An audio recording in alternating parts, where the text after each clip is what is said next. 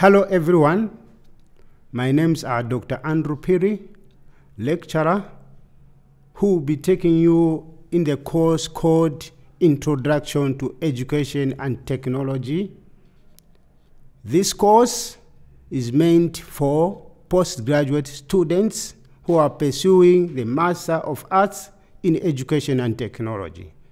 This course consists of 11 units and each unit has got its own component and at the end of each unit there are some exercises that students must participate so that you increase your understanding in this course.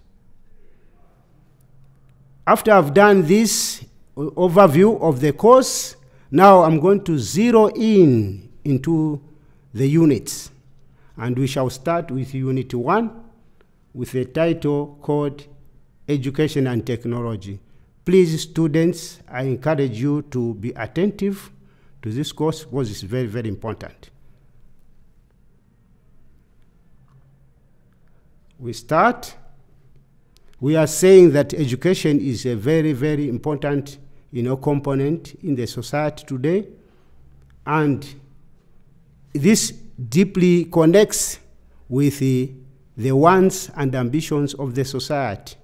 And as the society is progressing, personal development for individuals who are students like you who are pursuing this course is very, very important to have that development. So any advancement in technology has this direct has this direct or indirect impact on the methodology. The methods that we use to deliver our lectures differs with the advancement of the technology. This is what I'm trying to highlight. So the objectives of this course basically is maybe to understand what is education and technology. Basically, students should be able now to, if we give you a question to say, define education and technology, you should be able, after going through this unit, you should be able to define what is education, what is technology, and together the two, they are called educational technology. So we shall zero in into that. Then we sh should be able to describe aspects of education technology because there are components of education technology. And furthermore, we will look at the relevance of psychology to educational technology.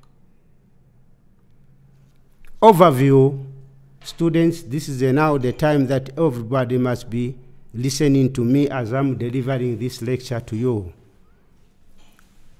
Education and technology. Basically, we are looking at what is education? And if you borrow, the, in this course, we shall talk about the definition that has been adopted by Oxford Dic Dictionary, which is education is a process of teaching, training, and learning. To many, it is a discipline that is associated with the use of audiovisual media in education